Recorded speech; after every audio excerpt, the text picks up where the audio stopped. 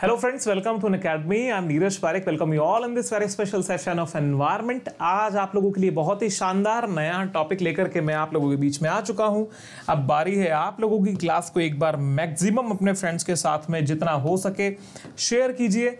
आज का बहुत ही बेहतरीन टॉपिक रहेगा अम्ल वर्षा या एसिड रेन जो कि हमारी शॉर्ट वीडियो सीरीज़ का पार्ट टू है जिसको हम कवर कर रहे हैं एनवायरमेंट या पीपल डेवलपमेंट एनवायरमेंट के इंपॉर्टेंट टॉपिक्स प्यारे साथियों, ये जो सीरीज़ हमने शुरू की है, इसका नाम भले ही शॉर्ट वीडियो सीरीज़ है शॉर्ट वीडियो सीरीज़ का मतलब ये है कि एक टॉपिक को ही हम कवर कर रहे हैं।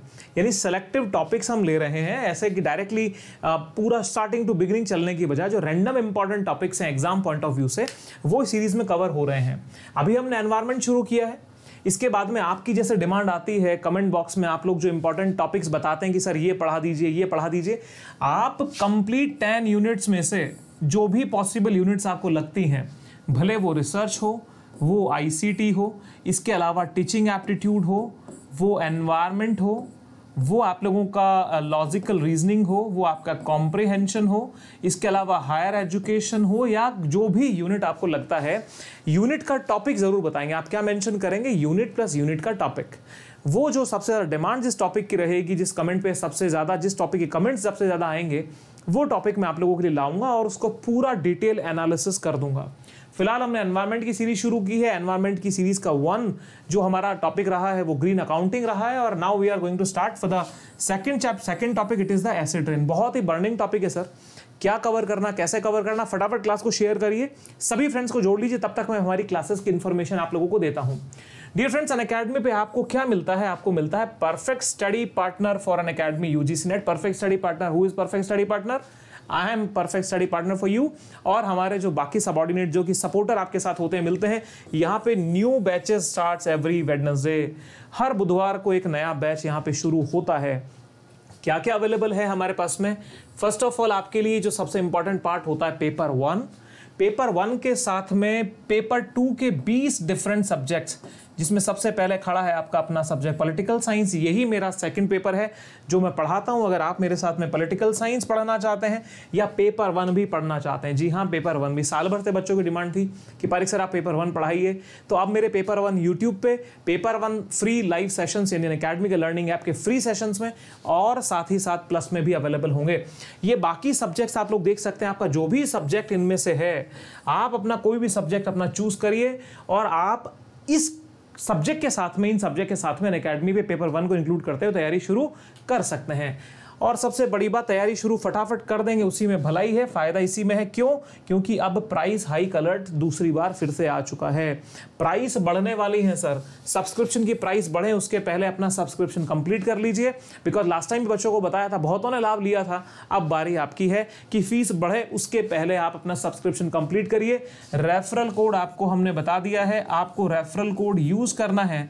दैट इज़ पारिक टेन पार एक टेन लगाइए, आपकी पार लगेगी और पेपर वन और पेपर टू की कंप्लीट तैयारी आपको करने को मिलेगी। गाइस तो यहाँ पे जो आप सब्सक्रिप्शन लेते हैं, ये सब्सक्रिप्शन में आप लोगों को पेपर वन और पेपर टू पूरा मिलता है, जो कि आपको रेफरल कोड यूज़ करना रहेगा।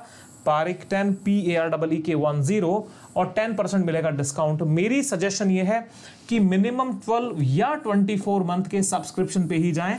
इसमें आपको तीन बेनिफिट होंगे। कोर्स करने के लिए टाइम इनफ मिलेगा।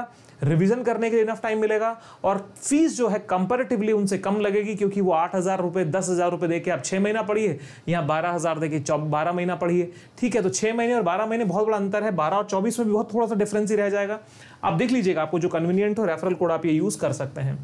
डियर फ्रेंड्स टॉपिक स्टार्ट कर रहे हैं। हमारा टॉपिक आप लोग शेयर फटाफट करेंगे क्लासेस को।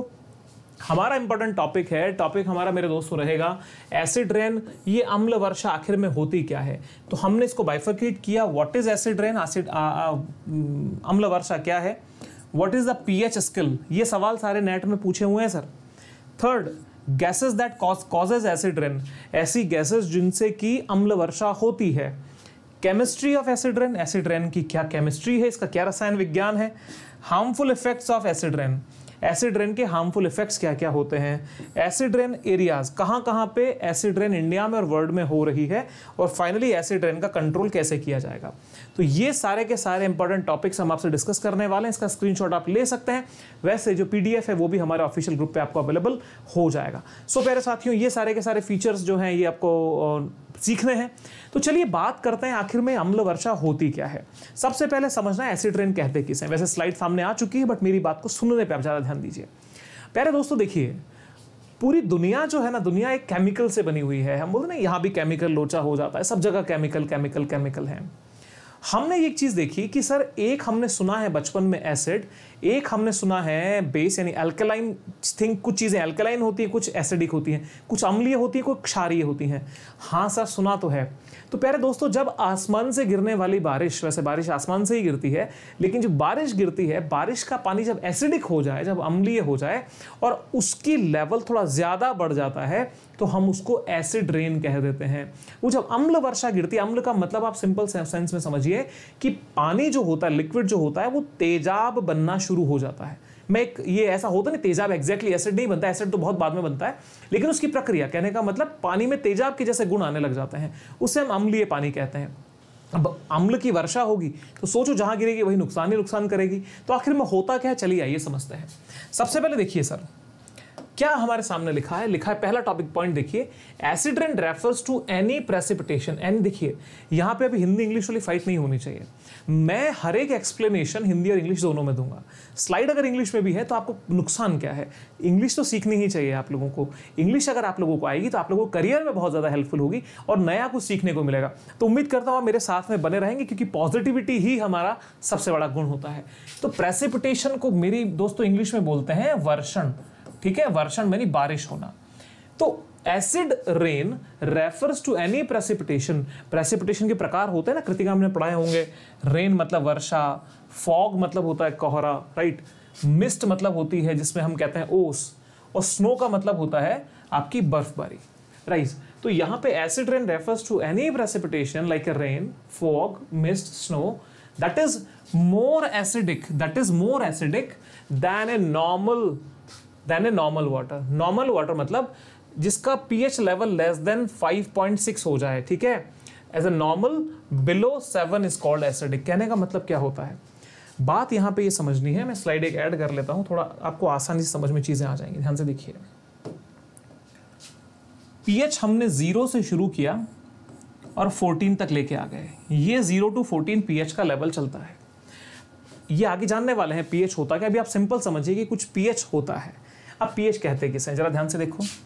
Zero one two three four five six seven eight nine ten and so on eleven twelve thirteen fourteen dear friends ध्यान देने वाली बात यह है कि ये जो वैल्यू होती है सेवन वाली जो वैल्यू होती है सेवन वाली वैल्यू को कहा जाता है न्यूट्रल यानी इससे जब माइनस में आओगे तो आप एसिडिक हो जाओगे, इससे माइनस में आते आते आप क्या हो जाओगे?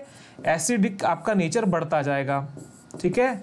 जब आप इससे प्लस में जाओगे तो आप एल्केलाइन हो जाओगे। ए एल लिख रहा हूँ alkaline A L alkaline A L alkaline ठीक है? तो सेवन क्या होता है? न्यूट्रल लेवल होता है पीएच का। यानी किसी अगर पानी को हम टेस्ट करें और कहें कि सर इसका पीएच लेवल सेवन आ रहा है, उसको हम न्यूट्रल वाटर बोलेंगे। ठीक है सर? न्यूट्रल वाटर हम बोलते हैं। जो बैटरी वगैरह में डलता है ना पानी, वो पीएच लेवल सेवन वाला पानी डलता है। जिसकी कोई भी पीएच वैल्यू नहीं होती। पीएच वैल्यू में एक्चुअली हाइड्रोजन के आयन होते हैं। जितना ज़्यादा पीएच लेवल घटेगा, उतना हाइड्रोजन आयन बढ़ जाता है। भी सारी बातें बताने वाले हैं। तो प्यारे साथियों, होता क्या है कि जब आपका पीएच लेवल सेवन से डाउन होने लगता है तो हम कहते हैं कि ये एसिडिक होना शुरू हो गया। अब बात यह है कि जो होने, जो बारिश होती है, बारिश की भी जो वैल्यू, नॉर्मल वैल्यू मानी जाती है, वो पाँच से छह के बीच में आती है, between five to six. Majorly ये होती है फाइव पॉइंट फाइव से ज़्यादा ही होती है मतलब साढ़े पाँच से छह के बीच के अंदर पीएच लेवल होता है बारिश के पानी का। तो आप बोलेंगे, सर एसिड तो वो बन ही गया तो एसिड रेन तो हो रही है। लेकिन जो एसिड रेन की आइडेंटिटी है एसिड रेन की आइडेंटिटी आप मेरे दोस्तों ध्यान से समझिए लेस देन 5.6 जब बारिश, जो पानी गिर रहा है, उसकी एसिडिक वैल्यू जो उसकी अल्केला पीएच वैल्यू अगर उसका 5.6 से नीचे चला जाता है, तब हम कहते हैं कि, सर एसिड रेन हो रही है। अदरवाइज़ पानी का जो ये लेवल होता है बारिश का, वो साढ़े पाँच फाइव पॉइंट सिक्स के मेनली ऊपर ही रहता है। ये बात तो हमें समझ में आ गई। अब देखो, जितना नीचे आते जाओगे, उतना खतरनाक होता जाता है। अब आपको बात समझाएँ कैसे? देखो कि तीन पे जो वाटर का, जो एसिडिटी का लेवल होता है, आप बात को समझिएगा। तीन मत समझो। हाँ चलो, इसको उल्टा करते हैं। पाँच पे जितना है, पाँच का दस गुना एसिडिक लेवल आ जाएगा चार पे। और चार का दस गुना एसिडिक लेवल आ जाएगा तीन पे। कहने का मतलब पाँच से अगर तीन पे हम आ गए तो सौ गुना एसिडिटी बढ़ जाती है। बात समझ रहे हो? हर अगले स्टेप के ऊपर टेन टाइम्स की ग्रोथ होती है, हर अगले स्टेप पे। देखिए सर तो ये तो समझ में आ गया। दूसरा क्या लिखा है? Acid rain is cause by the atmospheric pollution ये क्वेश्चन बन सकता है सीधा कि किससे ये डेवलप होती हैं? तो क्या होता? है made by atmospheric pollution from acidic gases acidic gases होती हैं? कौन कौन सी होती हैं? सच एज सल्फ़र लिख लीजिएगा sulphur dioxide and oxide of nitrogen emitted from burning of the fossil fuel fossil fuel का मतलब होता है जैविक ईंधन। क्या कहते हैं इसको हिंदी में? जैविक ईंधन। एमिएटेड का मतलब होता है उत्सर्जन, उत्सर्जित। तो किससे उत्सर्जित होती है? जैविक ईंधन, यानी बायोफ्यूल का मतलब समझते हैं। जो जैविक ईंधन जैसे कोयला, जैविक ईंधन जैसे पेट्रोल डीजल कैरोसिन गैसेस जो भी बायोफ्यूल हमें ज़मीन से मिल रहे हैं, जिनका निर्माण कभी पेड़ पौधों के दबने से नेचर के दबने से वेजिटेशन से जो निर्माण हुआ, वो बायोफ्यूल कहलाता है। तो वहाँ पे कौन कौन सी गैसेस मेन बताई गई हैं, sir? Sulphur dioxide and oxides of nitrogen ठीक है? नाइट्रोजन के ऑक्साइड सल्फ़र डाइऑक्साइड अभी पूरी डिटेल आगे होने वाली है। तो इससे ये चीज़ तो क्लियर है कि एटमोस्फेरिक पॉल्यूशन से ही एसिड रेन डेवलप होती है। आगे क्या है? It is also recognise that the acidic smoke fog mist move out of the atmosphere and settle on dust particles, which in turn accumulate on vegetation as acidic depositions. बात को समझ लीजिए। मान लीजिए कि आपने कोयला जलाया या आपने लकड़ी जलाई बायोफ्यूल जला दिया। बायो, लकड़ी बायोफ्यूल होती है। बायोफ्यूल के जलने से जो एसिडिक गैसेज हैं, वो निकल गई। निकलने के बाद में जो एनवायरमेंट में डस्ट के पार्टिकल हैं, जो धूल के कण हैं, वो उन पर चिपक जाती हैं। धूल का कण का वज़न थोड़ा भारी होता है कंपेरेटिवली गैस तो वो उसको साथ लेकर के नीचे गिरता है। और ज़मीन के ऊपर होने वाली वेजिटेशन इन जंगलों में, पौधों पे, खेतों के अंदर वृक्षों पे आकर के वो मिट्टी जम जाती है। अब होता क्या है? वो जम गई। अब आगे देखो कहानी क्या होती है। एसिडिक डिपोजिशन हो गया कि नहीं हो गया? एसिड का डिपोजिशन हो गया कि वो जो एसिड था एसिड मिट्टी के जो कण थे, धूल के कण थे, उनके साथ में डस्ट पार्टिकल से नीचे आया और लीव के ऊपर चिपक गया। चिपक गया तो अब आगे देखो कहानी क्या होती है। वेन रेन फॉल्स जब बारिश गिरती है the acid acid form these deposition leak and from and form the acid dews क्या होता है कि जैसे ये पानी गिरता है उन पत्तों पे गिरी हुई वो धूल के कण जिनके अंदर एसिडिक गैसेस के कण भी मिले हुए हैं उन पे पानी लगता है और वो रिएक्ट करके होते क्या हैं? क्या काम कर जाते हैं? एक एसिडिक ड्यूस का निर्माण करते हैं। कहने का मतलब एक आ, हिंदी में समझ लीजिए एक रासायनिक नहीं हम इसको बोलेंगे एक अम्लीय धुंध जैसा निर्माण करते हैं उस पत्ते के चारों तरफ़। तो पूरा का पूरा पत्ता कॉलेप्स हो जाता है, फ़सल की फ़सलें खत्म हो जाए जंगल के जंगल खत्म हो जाते हैं। यही घटना मकानों पे भी होती है। आप लोगों को एग्जांपल दूँगा अभी ताजमहल का कैसे मथुरा की रिफाइनरी से निकलने वाली जो हार्मफुल गैसेज हैं, वो एटमोसफेयर के थ्रू जब आकर के बारिश में गिरी ताजमहल पर तो ताजमहल का पत्थर भी पीला पड़ने लगा ये भी बहुत बड़ा इशू हो रहा है। तो what is acid rain I think it is clear to all of you अगर क्लियर है लाइक शेयर बनता रहे, बराबर आगे बढ़ते रहे। ठीक है सर आगे देखिए। What is the P H scale P H मान किसे कहते हैं? पी एच लेवल बढ़ गया पी एच घट गया, जरा ध्यान से देख लीजिए। First is the P H scale is a measure of how acidic and basic यानी एल्कालाइन ए सॉल्यूशन कुल मिलाकर के पीएच लेवल वो वैल्यू होती है, वो पैरामीटर होता है, जिससे हम ये चेक करते हैं कि कौन सी चीज़ अम्लीय है और कौन सी वस्तु क्षारी है। यानी एसिडिक है या बेसिक है एल्कलाइन है, ठीक है? It range from zero to fourteen ये सवाल सीधा बन सकता है सर कि पीएच लेवल जो होता है, वो कहाँ से कहाँ तक वेरी करता है? Minimum value of pH level क्या होती है? Maximum value of pH level क्या होती है? तो क्या माना जाएगा sir zero to fourteen highlight कर हैं इस क्वेश्चन को। And a pH of seven is neutral ये भी पूछ सकता है कि न्यूट्रल पीएच लेवल कितना होता है? तो seven is the neutral pH level zero one two three four five six seven तो सेवन न्यूट्रल इधर वाला हो गया acidic eight nine ten eleven twelve thirteen fourteen alkaline या बेसिक क्लियर है? आई थिंक समझ में आना चाहिए। सवाल कहाँ बनेंगे? मेन देखो इतने सारे ज्ञान की सिर्फ़ इतनी ही महत्व होगा कि आप लोगों के क्वेश्चन सही हो जाने चाहिए। तो क्वेश्चन सही करने का बेस्ट तरीका है ना? Now come to third point a P H less than seven लिखना। A P H less than seven is acidic and a P H greater than is basic यानी सात से कम का जो पीएच होगा वो अम्लीय हो जाएगा और सात से ज़्यादा वाला जो होगा वो क्षारीय हो जाएगा। ध्यान रहे, हमारे शरीर के लिए जो एल्केलाइन वाटर होता है, यानी जिसका pH level eight nine ten eleven तक हो, वो बहुत यूजफुल होता है। उसी को एक टर्म आप लोगों को समझाऊँगा मैं कैंगन वाटर होता है Kangen water Kangen water actually वो कैंसर पेशेंट्स के लिए बहुत यूजफुल होता है, ठीक है? तो एल्केलाइन पानी आरओ का पानी एसिडिक होता है, बता देता हूँ, इसलिए आरओ का पानी हार्मफुल भी होता है। आगे देखिए pH values decreases as hydrogen ion increases यानी जब हम पीएच का लेवल चेक करते हैं किसी पैरामीटर पे तो वहाँ पे जो मशीन होती है या जो टूल होता है जिससे पीएच को चेक किया जाता है। वहाँ पे हाइड्रोजन के आयन्स होते हैं सर अब मान लीजिए कि जैसे ही हमने क्या कहा पीएच वैल्यू डिक्रीज होगी हाइड्रोजन के आयन बढ़ जाएँगे। यानी किसी की वैल्यू मान लीजिए दो है तो आपने जैसे ही चेक किया ना पीएच वैल्यू दो आई उसमें हाइड्रोजन के आयन बहुत ज़्यादा इंक्रीज करेंगे। अब जैसे मान लीजिए, अगला आपने टेस्ट किया जिसका पीएच लेवल तीन था तो हाइड्रोजन के आयन थोड़े से कम रह जाएँगे। तो कुल मिलाकर के जैसे जैसे पीएच लेवल घटता है, उस टेस्टिंग मीटर पे हाइड्रोजन के आयन बढ़ते हैं। अब जैसे height pH level pH level बढ़ता है, वैसे हाइड्रोजन के आयन घटते हैं। इसी से हम मेजर करते हैं हाइड्रोजन के आयन के बेस पे कि कितने परसेंट हाइड्रोजन के आयन बढ़े या घटे। अगर हाइड्रोजन के आयन बढ़ गए हैं, इसका मतलब वो एसिडिक है, और हाइड्रोजन के आयन अगर घट गए हैं, इसका मतलब वो क्या है? बेसिक है या अल्कलाइन है। तो हाइड्रोजन के आयन से इसको टेस्ट किया जाता है। A solution with pH four, look at this, ये बहुत प्यारी इंफॉर्मेशन है। इस सॉल्यूशन इस सॉल्यूशन इसको मैं थोड़ा कलर चेंज करते हैं. A solution with pH 4 is a 10 times more acidic than pH 5. समझ में आ गया क्या? अगर चार के ऊपर 10 पॉइंट का एसिड है तो होगा क्या?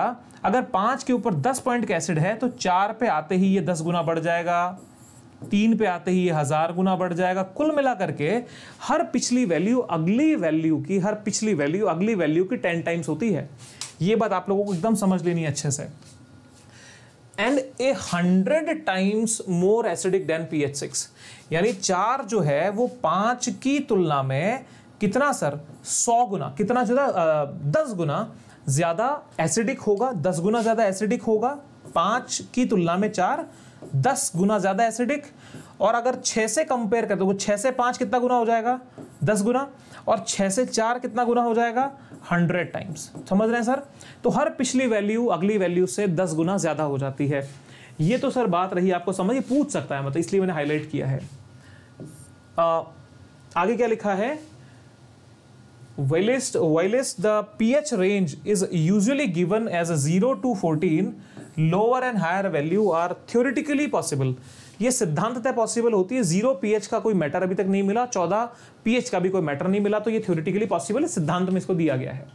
कई सब ध्यान से देखो, अगला पॉइंट देखते हैं। Gases are cause the acid rain ऐसी कौन कौन सी गैसेज हैं जो एसिड रेन को प्रमोट कर रही हैं? थोड़ा ध्यान से देखिएगा सर एक एक चीज़ को। First of all gases that caused causes acid rain सबसे पहले हम देखते हैं एसिडिक गैसेज में कौन कौन सी आती है? एसओ आती है यानी सल्फ़र डाइऑक्साइड आती है। एसओ टू जिसको अपन बोलते हैं। कहाँ से एसओ टू आखिर में कहाँ से निकलती है? आई थिंक क्लियर आप लोगों को दिख रहा होगा, ध्यान से देखिए। Fossil fuel fossil fuel burning यानी जब आप जलाते हैं फॉसिल फ्यूल को जैविक ईंधन के दहन से आती है पावर प्लांट से आती है स्मेल्टिंग मेटल जो आती है, जो कि जहाँ पे धातु को पिघलाया जाता है, वहाँ से आती है। इंडस्ट्रियल सोर्सेज होते हैं industrial production of sulphuric acid होते हैं केमिकल एंड फर्टिलाइज़र इंडस्ट्री होती है। सबसे इंपॉर्टेंट देखो, ज्वालामुखियों से होती है, समुद्रों और महासागरों से decomposition of organic matter organic matter का डीकम्पोजिशन से भी हमारी SO2 निकलती है। सर SOX निकलती है सल्फ़र डाइऑक्साइड तैयार होती है। तो ये सवाल बन सकता है, ज्वालामुखी समुद्रों से और महासागरों से भी ये गैस निकलती है। ठीक है, दूसरी चीज़ जो हमारी नाइट नाइट्रोजन ऑक्साइड है एनओ एनओ टू और एनओ एन टू ओ ये कहाँ से आती है? फॉसिल फ्यूल बर्निंग लाइटनिंग यानी जो बिजली गिरती है, उससे भी होती है। बायोमास बर्निंग जो आप पेड़ पौधों में आग लगाते हैं, जो जैविक ईंधन जलता है, उससे होती है। फॉरेस्ट फायर जंगल की आग से ओशियन से और पावर प्लांट से। देखो, ध्यान से सुनने वाली बात यह है, जो हाईलाइटेड पॉइंट है, वो ये कि एन ओ और N two are mentioned in NIOS environment NIOS की बुक्स समझते हो क्या आप? National Institute of Open School करके कुछ N I government of India की बुक्स आती हैं। उनमें सिर्फ़ ये मेंशन किया गया है एनओ और एनओ टू तो ये कुछ गैसेस होती हैं जो कि एसिड रेन के लिए रेस्पॉन्सिबल होती हैं। ठीक है, थोड़ा सा एक्सप्लेनेशन इसको आप स्क्रीनशॉट लीजिएगा। सी O N C O two ध्यान रखिएगा कार्बन और carbon dioxide reacts with rain water to form weak carbonic acid मतलब एक कमज़ोर कार्बनिक एसिड बनाती है। आप लोगों को पता है ना? अब आप बोलोगे, सर, एक बात बताओ, बारिश का पानी जो होता है, वो न्यूट्रल क्यों नहीं होता बारिश के पानी में क्या समस्या होगी सर? उसमें कौन मिलाने गया? नेचुरल मान लीजिए, कहीं पर कोई फ्यूल नहीं चल रहा, फिर भी, भाई कार्बन डाइऑक्साइड तो है ना? कार्बन तो एनवायरमेंट में है ही। तो वो क्या करता है? बहुत हल्के लेवल पे एक कमज़ोर कार्बनिक एसिड बना देता है। Hence rain water is naturally slightly acidic इसी की वजह से जो वर्षा का जल होता है, वो अपने नेचर में हल्का सा अम्लीय हो जाता है। क्यों? क्योंकि वातावरण में कार्बन और कार्बन डाइऑक्साइड क्या करते हैं? उसके साथ एक कमज़ोर कार्बनिक एसिड बनाते हैं। बहुत ज़्यादा पावरफुल नहीं होता है वो।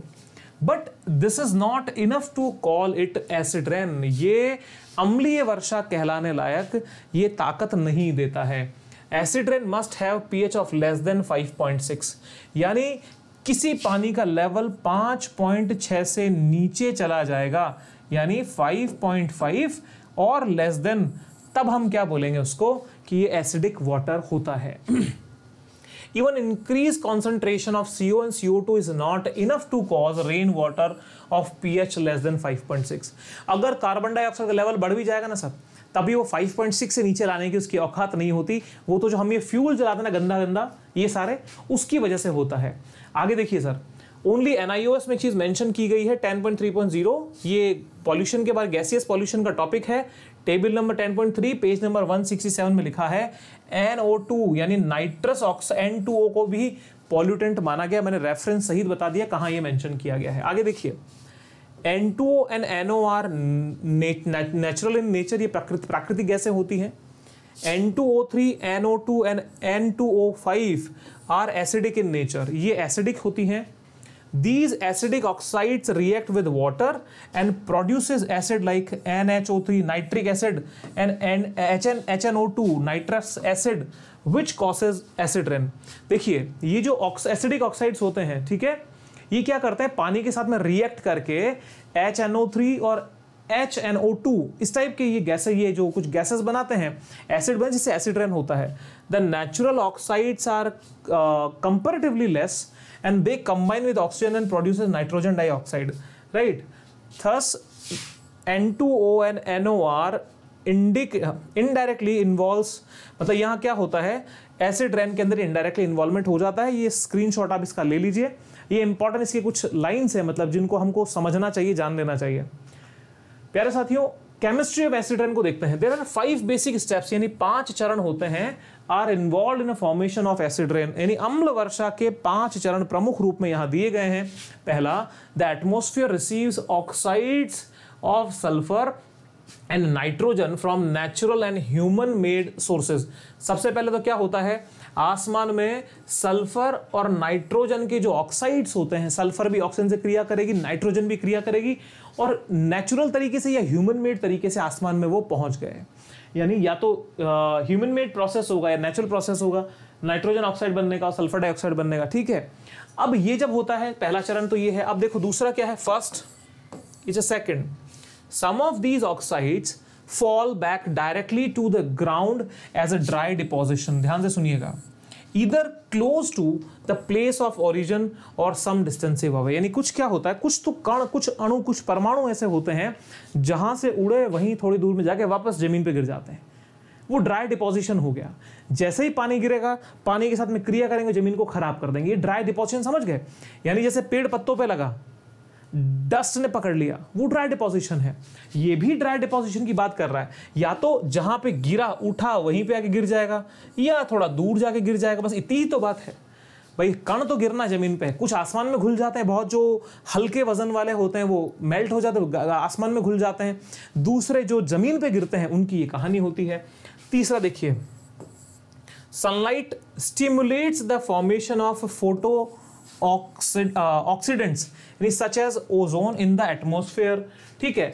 होता क्या है कि जब आसमान में वो कण चले जाते हैं तो सनलाइट के साथ में वो क्या करती है? ओजोन मिलती है। वो ओजोन स्टिमुलेट होती है। तो ओजोन के साथ उनको ऑक्सीजन कहाँ मिलती है? ओजोन के रूप में। ओजोन क्या होती है? ओ थ्री राइट ऑक्सीजन के तीन कण मिलकर ओजोन का एक कण बनाते हैं। तो ओजोन क्या होती है? डिप्लीट होती है। और ऑक्सीजन के रूप में उनके साथ काम करती है और वहाँ पे ऑक्साइड का निर्माण होता है। ठीक है? These photo oxidants interacts with the oxides of sulfur and nitrogen and other gases like NH3 to produces H2SO4 सबसे खतरनाक sulphuric acid and HNO3 nitric acid by oxidation कुल मिलाकर के सनलाइट आप लोगों को पता है ना कि जो अल्ट्रा वायलेट रेज आती है अल्ट्रा वायलेट रेज से क्या होता है? अल्ट्रा वायलेट रेज को रोकती है आपकी ओजोन लेकिन यहाँ से जब हमने आ, कुछ आ, एंटी ओजोन गैसेस जैसे लाइक सी है वो जब आसमान में जाती है तो वो क्या करती है, उसके टुकड़ों अणुओं को तोड़ देती हैं। तो इधर से तो प्रकाश, ओजोन और वो कण, इन तीनों की क्रियाओं से सारी एक्टिविटीज़ होती है सर जो कि एनवायरमेंट को नुकसान करती है। हाईलाइट कर लीजिएगा H2SO4 को और HNO3 को nitric acid by oxidisation oxidisation को हिंदी में कहते हैं ऑक्सीकरण ऑक्सीकरण क्लियर है? यहाँ तक का फंड एकदम माइंड में क्लियर रखिएगा। लास्ट क्या लिखा acid rain containing ions of sulphur nitrate ammonium and hydrogen falls as a wet deposition तो दो तरह के डिपोजिशन हो गए। फ़र्स्ट डिपोजिशन कौन से हुए? फ़र्स्ट डिपोजिशन हुए सर एंड मैम आपके dry deposition clear and second कौन से हो गए? वेट डिपोजिशन ठीक है? यानी जो आसमान में बारिश के साथ में ज़मीन पे आएगा, वो वेट डिपोजिशन वेट डिपोजिशन मतलब आर्द्र जमाव, ठीक है? आर्द्र जमाव, गीला जमाव, नमीदार जमाव। और दूसरा होता है ड्राई डिपोजिशन यानी सूक्ष्म शुष्क जमाव सूखा ठीक है? तो जो धूल के कणों के माध्यम से ज़मीन पे आके गिर जाएगा सूखा सूखा रहेगा बारिश में एक्टिवेट होगा तो वो ड्राई डिपोजिशन है। और जो आसमान में है जो ओजोन के साथ में और पानी के कणों के साथ में गिर के बारिश के साथ में गिरता है वो वेट डिपोजिशन होता है। सो so, प्यारे साथियों छोटा सा इसका कंपोजिशन आप देखिए। एमिशन सोर्सेज पे थोड़ा नज़र दौड़ाइए। एक फैक्ट्री आप लोग देख पा रहे हैं। एक फैक्ट्री आप देख रहे हैं। फैक्ट्री से समझिए SO2 और NO2 दो गैसेस बाहर आ रही हैं। सिंपल सिंपल तरीका है। अब ये मिलेंगी तो होगा क्या? इसके साथ में जो सूर्य के प्रकाश के कारण जो ओजोन डिप्लीट यहाँ पे होगी तो ये देखिए O3 तो SO2 और O3 जब मिलेंगे तो H2SO4 का निर्माण कर दिए और NO2 जब मिलेगी तो HNO3 का निर्माण हो गया, सर। ठीक है? अब यही क्रियाएँ जब आगे बढ़ेंगी, तब ये दोनों मिलकर के क्या निर्माण कर देंगे, सर? आसमान से निकलने वाली, ये देखिए, ड्राई डिपोजिशन तो यहाँ पे आके बैठ गया। और जो वेट डिपोजिशन था वो आसमान में रह गया। अब यहाँ पे किसका निर्माण हो गया? H2SO4 का HNO3 का। और ये सारे के सारे होते क्या हैं? जब ज़मीन पे बारिश के रूप में गिरेंगे, तब आप ध्यान से देख सकते हैं, सर, कि ड्राई डिपोजिशन के एरिया यहाँ हो जाएँगे और बारिश के साथ में जो गिरेंगे, वो वेट डिपोजिशन का एरिया हो जाएगा। दूसरी बात सोर्सेस पे नज़र दौड़ाइए। ये सारा का सारा नक्शा आप लोगों को समझा देगा कि किस रूप में हम जो होते हैं, वो एसिड रेन का फॉर्मेशन यहाँ पे करते हैं। ये बहुत हार्मफुल होता है सर इससे पूरे के पूरे जंगल के जंगल साफ़ हो जाते हैं। इससे बिल्डिंग्स कॉलेप्स करने लगती है और ह्यूमन हेल्थ पे पूरा का पूरा लेक खत्म हो जाती है। इसलिए इसको लेक किलर बोलते हैं सर क्या बोलते हैं? हिंदी में लिखिए तो झील कातिल। ठीक है, बड़ा नाम खतरनाक है सर बट हिंदी में दिया जाता है। एसिड रेन को झील कातिल भी कहा जाता है। तो यहाँ पे आपको डिफरेंस पकड़ना होगा।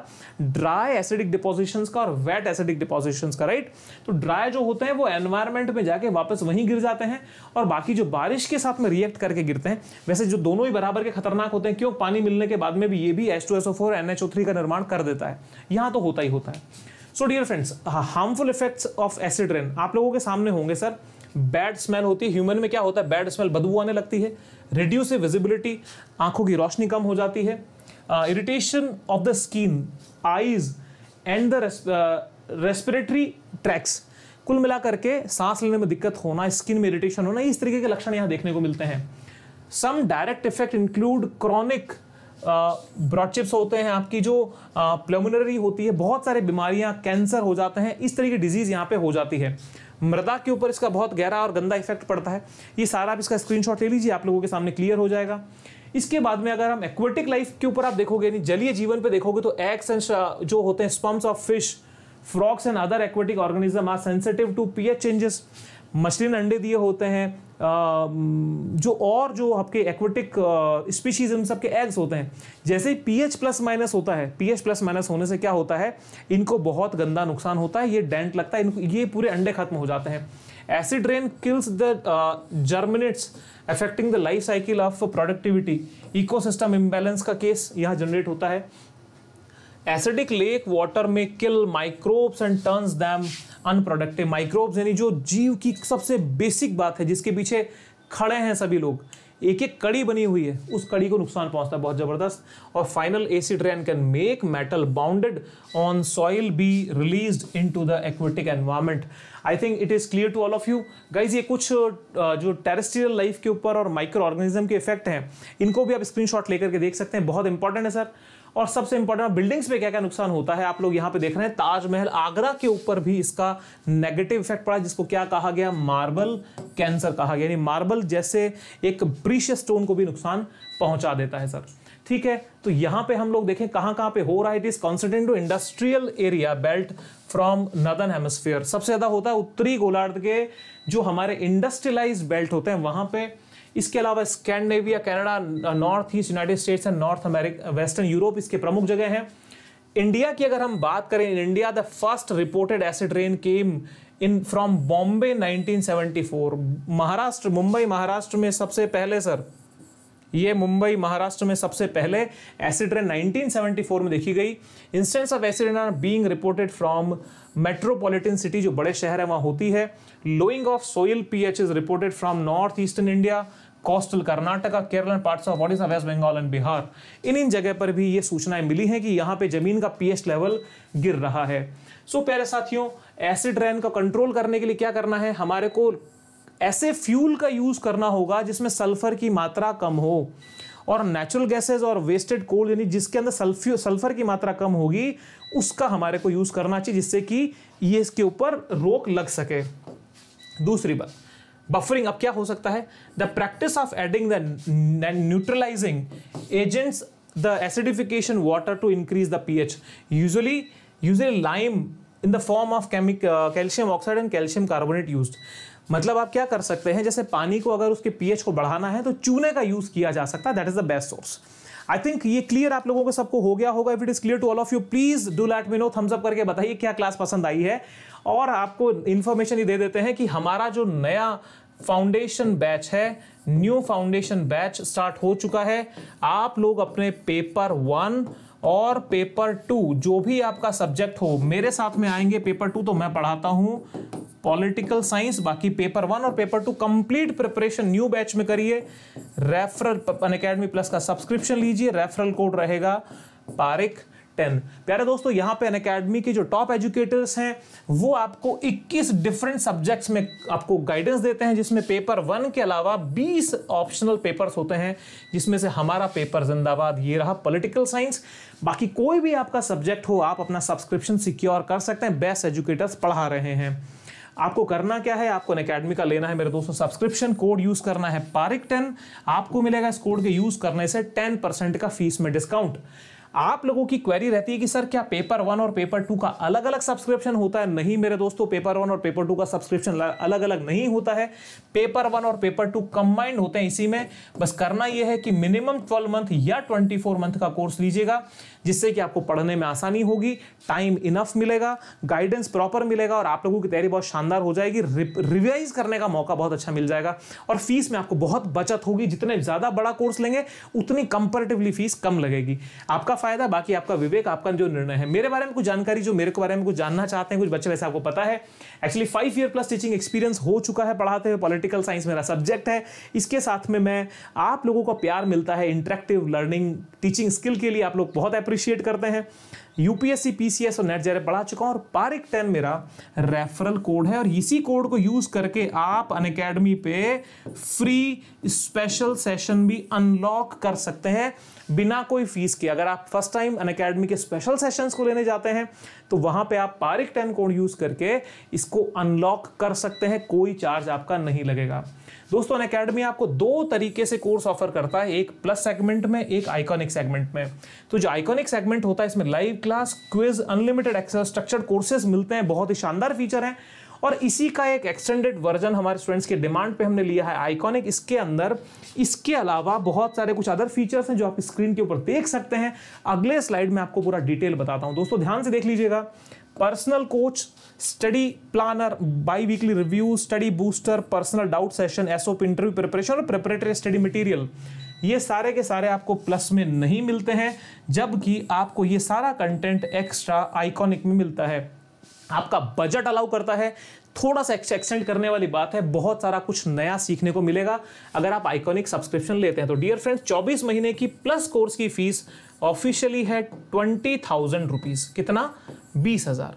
बट जब आप पारिक टेन कोड यूज़ लगा लोगे तो आपकी 24 महीने की फ़ीस हो जाएगी मेरे दोस्तों, केवल और केवल एटीन थाउज़ेंड रुपीज़ अट्ठारह हज़ार रुपए में दो पेपर पेपर वन और paper two, complete unit with practice test and all. आप लोगों को 24 महीने पढ़ने को मिलेगा, यानी दो दो चार एग्ज़ाम आप तैयारी कर सकते हो अट्ठारह हज़ार रुपए में। बारह महीने के कोर्स की फ़ीस है officially thirteen thousand seven hundred and fifty इसको जब आप पारिक टेन कोड यूज़ करते हैं, रेफरल कोड, तब आपको फ़ीस मिलेगी केवल और केवल twelve thousand three hundred and seventy five rupees सोचिए बारह हज़ार तीन सौ पिछहत्तर रुपए में आपकी बारह महीने की तैयारी दोनों पेपर की। और वहीं पे अगर हम बात करें आइकॉनिक सब्सक्रिप्शन की, क्योंकि देखिए प्लस पे यहाँ पे जब आप क्लिक आइकॉनिक पे करेंगे तो ये आइकॉनिक की ब्रांच खुलेगी। आप यहाँ देखिए, चौबीस महीने की फ़ीस है फोर्टी फाइव थाउज़ेंड बट 24 महीने की fees Pareek ten code use करके मिलेगी केवल और केवल चालीस हज़ार पाँच सौ रुपए में। और वहीं पे twenty six thousand rupees fees है, बारह महीने के आइकॉनिक सब्सक्रिप्शन की पारिक टेन कोड यूज़ करके आपको मिलने वाली है वो twenty three thousand four hundred rupees में। तो दोस्तों चॉइस आपकी है प्राइस बढ़ रहे हैं। प्राइस बढ़े, उसके पहले पहले आप अपना सब्सक्रिप्शन सिक्योर कर लीजिए। आपका पेपर वन और पेपर टू की कंप्लीट तैयारी हो जाएगी और मुझे बताइए कि मैं आपकी क्या हेल्प कर सकता हूँ। Pareek ten referral code join करके आइए। और मज़े लीजिए तैयारी का लाल बत्ती जल चुकी है प्राइस का हाई कलर आ चुका है हरी अब रजिस्टर फटाफट करिए। Don't waste your time my dear friends और ये कुछ हमारे बैच कोर्सेज हैं जिनको हमने अभी 16 जून से हमारी टीम ने लॉन्च किया है। इनमें भी आप एनरोलमेंट करा सकते हैं वही रेफरल कोड यूज़ करके। सो so, प्यारे साथियों पारिटन रेफरल कोड रहेगा। किसी भी कोर्स की आप सब्सक्रिप्शन लीजिए मज़ेदार तैयारी कीजिए चिल हो जाइए सक्सेस के लिए पढ़ाई करिए। जीआरएफ एक बार होगा, सारी फ़ीस वसूल हो जाएगी। अच्छे एजुकेटर्स के साथ में पढ़िए। आपका डेबिट कार्ड या क्रेडिट कार्ड से आप अपना ईएमआई भी ले सकते हैं, यानी कुछ मंथली पेमेंट के बेसिस पे भी आप पढ़ाई कर सकते हैं। सो प्यारे साथियों, अगर आप चैनल पे फ़र्स्ट टाइम आए हैं तो और अगर आपने चैनल सब्सक्राइब नहीं किया तो फ़र्स्ट ऑफ़ ऑल चैनल को क्या करना है? चैनल को करना है, मेरे प्यारे दोस्तों सब्सक्राइब बेल आइकन का बटन दबाओ, जिससे कि आपको सारे नोटिफिकेशन मिल जाए। वीडियो को लाइक करना, शेयर करना और आप सभी को मेरे तरफ़ से तहे दिल से धन्यवाद। Thank you very much for joining my dear friends positive रहिएगा। क्या पढ़ना है? कमेंट सेक्शन में बताइएगा। अन के लर्निंग ऐप पे फ्री सेशंस में पारिक टेन कोड यूज़ करके फ्री में क्लासेस देखिएगा। और जिनको पेड कोर्सेज ज्वाइन करना है पेमेंट देकर के जो हमारे एडवांस कोर्सेज होते हैं, उसको Pareek ten P A R double E K one zero code लगा के ज्वाइन कर जाइएगा। Thank you very much everybody hope you enjoy the session session पसंद आया तो लाइक थम्स अप बनता है। कमेंट में ज़रूर बताइएगा आगे क्या पढ़ना चाहते हैं। और ध्यान रखिएगा stay healthy stay safe stay positive और अन अकेडमी पर हमेशा हम एक बात बोलते हैं आप मेरे साथ में लाइफ में लक्ष्य कोई भी हो, पूरी एनर्जी और पॉजिटिविटी के साथ में क्या करना है? Let's crack it by